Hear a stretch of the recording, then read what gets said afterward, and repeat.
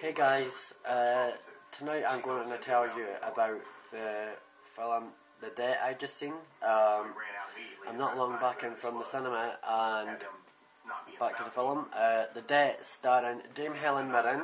Um, she plays an agent in the film and um, like she was a translator in like for different languages in Argentina. Um, so she gets put on this. Uh, oh, she gets put on this job with two other agents, and they have to uh, cap- capture a doctor who worked under Hitler, who was killing all the Jews, and they had to take him back alive. And uh, so the girl who was obviously playing the younger Helen Mirren. Uh, she was with the two other guys and she had to keep going seeing to the doctor like because he was a fertility doctor and something like that.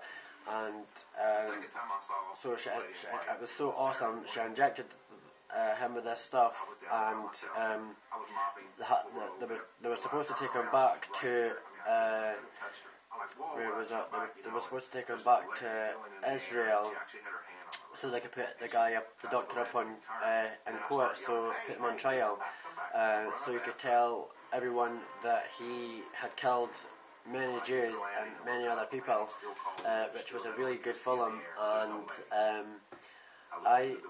I was just sitting there and I thought like because it's not usually a film I would watch and I I would score it a ten out of ten so it's two thumbs up to debt.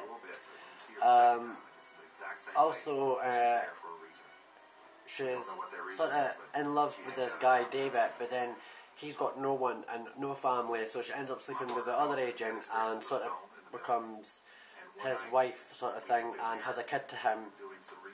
And uh, this guy, uh, David, ends up killing himself in the end anyway. And uh, I'm not going to tell you uh, any more about the film because I don't want to give it away for you guys. Uh, but I suggest that you guys go out and see it, see it because it is an amazing film. It is awesome.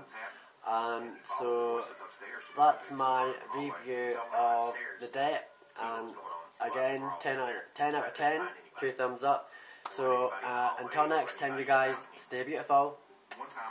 Hugs and kisses.